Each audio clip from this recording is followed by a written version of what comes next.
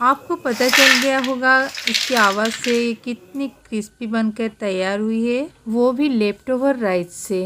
है ना interesting hello viewers नमस्ते।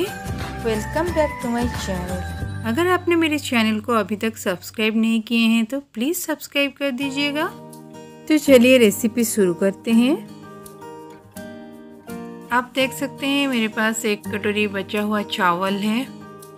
पहले हम इसे एक मिक्सचर जार में डाल देंगे और इसका एक फाइन पेस्ट बना लेंगे।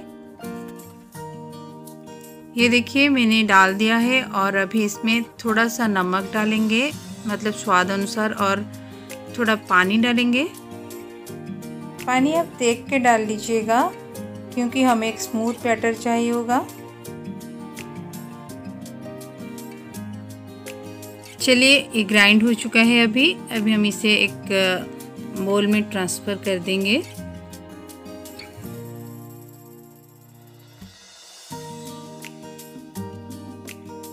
हम इस पेस्ट में अभी डालेंगे ये सारी चीज़ें। इसमें है दो चम्मच भर के मैदा। हमारा जो खाने वाला चम्मच है, इसमें मैंने मेजर किया है। मैदा इसे बाइंडिंग देगा।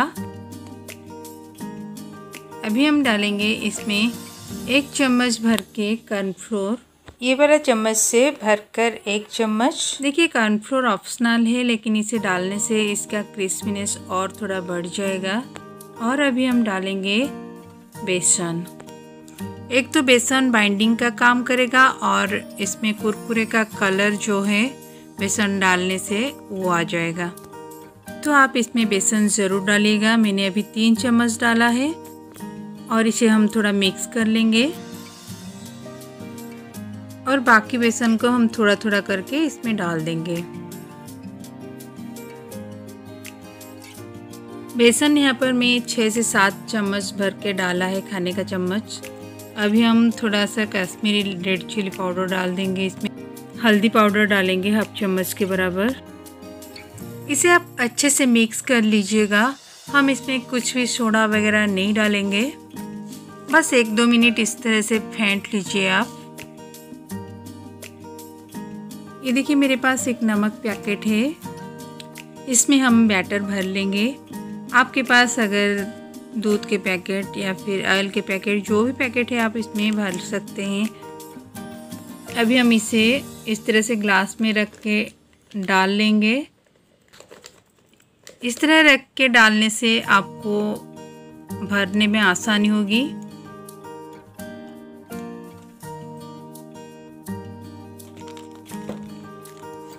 इस बैटर को आप इस पॉलीथीन के एक कोने में ले जाइए और इसे इस तरह से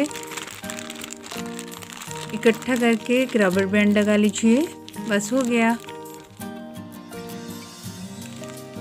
अगर आपके पास केक सजाने की पाइपिंग बैग है तो आप इसमें भी बहुत आसान तरीके से कर सकते हैं।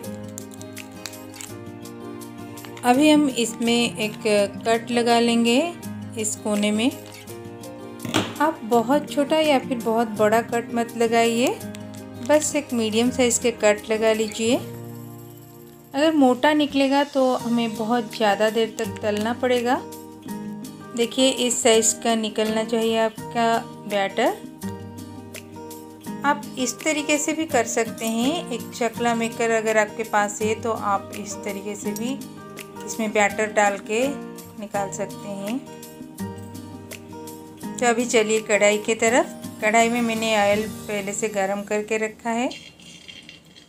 पहले आप ऑयल को तेज़ गरम कर लीजिए और बाद में इसे थोड़ा कम कर लीजिए। मतलब लो कर लीजिए फ्लेम को। देखिए, मैं तीन तरीका बताऊँगी इसे कैसे आप निकाल सकते हैं कढ़ाई में। इस तरह से आप हाथ लगा के इसे कट कर लीजिए। ये थोड़ा रिस्की है। अगर आप कर सकते हैं तो आप इस तरह से कर लीजिए, नहीं तो आप आगे देख लीजिए मैं क्या कर रही हूँ। अभी कढ़ाई के अंदर जितना आ रहा है, उतना ही आप डाल लीजिए। देखिए, मैं पूरा डाल चुकी हूँ। इसे आप लो टू मीडियम फ्लेम पे ही तल लीजिए। बीच बीच में आप उलट पुलट करते रहिए। इस तरह से आप पाँच से सात मिनट तल लीजिए। इसके बाद आप निकाल लीजिए। इसकी प्रोसेस अभी ख़त्म नहीं हुई है। हमें बाद में और एक बार इसे तलना है। अभी छः से सात मिनट हो चुका है। हम इसे एक प्लेट में निकाल लेंगे। अभी आप देखिए, मैं दूसरा तरीका बता रही हूँ आपको। ये देखिए, मैंने थोड़ा थोड़ा निकाल रही हूँ और और इसे कट कर रही हूँ एक कैंची से। ये वाला प्रोसेस आपको बहुत ही ईजी लगेगा।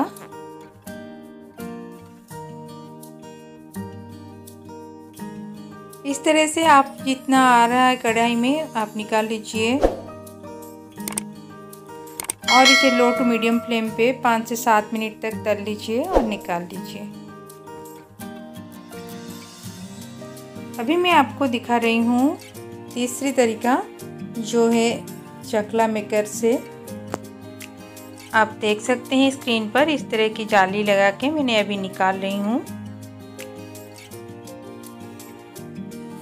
आपकी कढ़ाई में जितना आ सकता है, आप इतना ही डाल लीजिए और इसे भी हम लो टू मीडियम फ्लेम पे तलेंगे पाँच से सात मिनट तक। अभी मैं सभी कुरकुरे को निकाल लिया है। पहले आप सब कुछ तल लीजिए, उसके बाद हम लास्ट प्रोसेस करेंगे। ये देखिए ऑयल को आपको पूरी तरह से गर्म कर लेना है। और इसके बाद आप सभी कुरकुरे को डाल देंगे।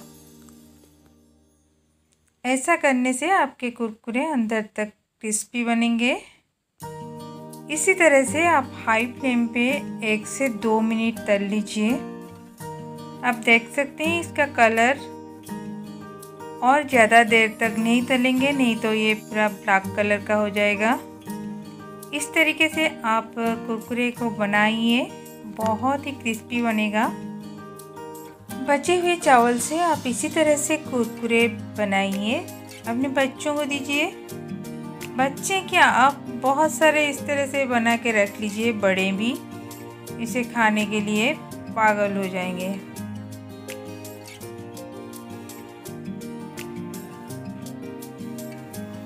इसकी आवाज़ से पता चल गया होगा आपको कि कितनी क्रिस्पी बनी है। अभी हम कुछ मसाले ऐड करेंगे इसमें। अभी मैं थोड़ा सा नमक डाल रही हूँ और ये काला नमक अभी डाल रही हूँ। अभी मैं यहाँ पर थोड़ा सा आमचूर पाउडर डाल रही हूँ। अभी हम डालेंगे थोड़ा सा कश्मीरी रेड चिली पाउडर।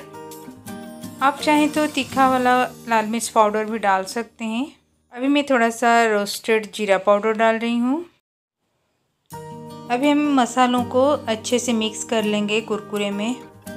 अगर आपके पास चाट मसाला है तो आप इन सभी मसालों को स्किप करके सिर्फ़ नमक डालिए और चाट मसाला डाल लीजिए। आपका काम हो जाएगा।